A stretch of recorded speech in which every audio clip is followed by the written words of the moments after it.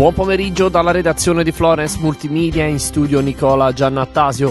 Sulla statale 3 bis Tiberina ci sono rallentamenti per una nevicata in corso tra Valsavignone e San Piero in bagno in entrambe le direzioni. In A1 fare attenzione per neve sul tratto appenninico e ci sono nevicate in corso sui passi appenninici delle statali toscane. In A15 nebbia a banchi tra Berceto e Pontremoli, visibilità 70 metri. Sulla statale 1 Aurelia scambio di carreggiata per lavori tra Venturina e Rio Torto in direzione Roma. Sulla statale 12 della Betone e del Brennero senso unico alternato per una frana tra Popiglio e La Lima.